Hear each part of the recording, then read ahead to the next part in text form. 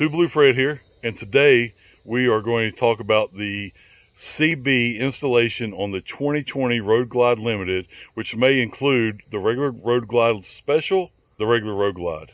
There's an HD Connect that you need to move, and we're going to show you that here in just a second.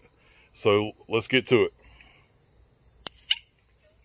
So let's get so let's get to it. And go. So, what we did, guys, is if you look, when you originally get the bike, you have this HD Connect module, right? Which we've already relocated into this space right here. Okay, we're gonna zoom in and show that to you. But that module is sitting on this bracket right here, right? And it, when you get it, it's sitting right here in this space, okay? Now this is where the CB used to go on the 2019 before uh, the 20 on the 2019 before the HD Connect was launched, right? So we took the screws out, we freed it up, we moved it over here. Now we just secured it with some zip ties, nothing too fancy, right?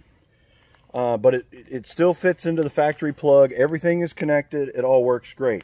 And now this space is completely freed up for your CB. The bracket that comes with the CB, all the mounting hardware still fits. Everything works great. We slid it right in here.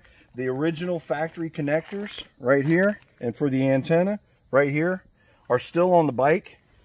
They still work. We've hooked it in. You do have to get the radio flashed in order to activate the CB on the 2020. That is different than the 2019 and before.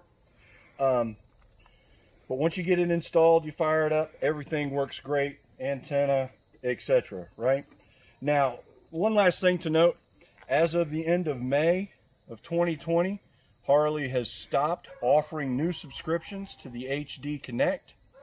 So I bought this bike on the last day of May and I went to try to sign up for it and I couldn't and I called the support line and they told me they're no longer taking new subscriptions. So we don't know if this HD Connect module is even necessary to still use the Harley app to load your maps into the radio.